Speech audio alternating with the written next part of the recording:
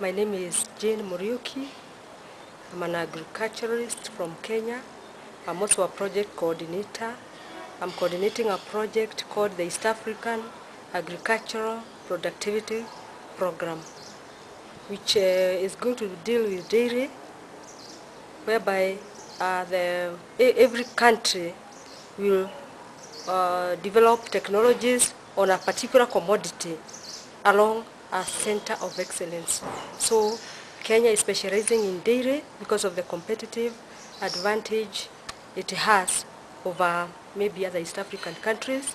Yeah, Tanzania is, uh, is, is doing rice and Ethiopia is doing wheat and Uganda is going to deal with cassava. So before I came for this stakeholders workshop, I didn't know much about the program, although I had, I had heard about it. But for the last three days, it has been such an eye-opener. I think it is a good program because it is integrating research and development. It has brought in a lot of actors, NGOs, uh, government, international researchers, and other organizations from different countries.